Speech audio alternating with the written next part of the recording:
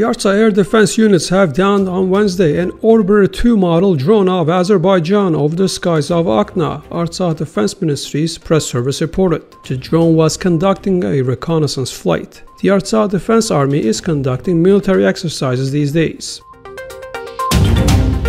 Israeli Prime Minister Benjamin Netanyahu reminded Turkish President Recep Tayyip Erdogan of Turkey's crimes, including the Armenian genocide. Referring to Erdogan's statement in New York, he said, He who doesn't stop lying about Israel, slaughters the Kurds in his own country, and denies the terrible slaughter of the Armenian people shouldn't preach to Israel. Erdogan, stop lying. The Ararat Anti-Terrorism 2019 CIS Joint Anti-Terrorism military exercises are in progress in Armenia. These military drills are held in the seven CIS countries to ensure the security of fuel and energy facilities. The two final phases of these exercises are underway in Armenia.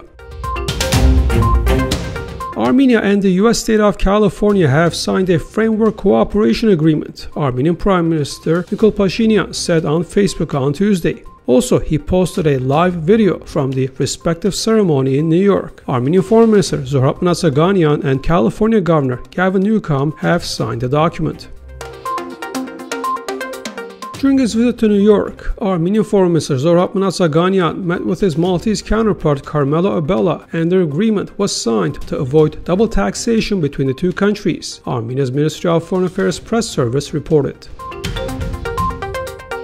The criminal case into the death of former police chief Haik Harutyunyan has been launched under the article on causing suicide, said Vladimir Hovanesyan, deputy chief of the Special Investigation Service of Armenia. As far as I know, there are no grounds at present to assert that a murder has taken place, he told reporters. The criminal proceedings are conducted at the investigative committee. I suggest asking them such questions.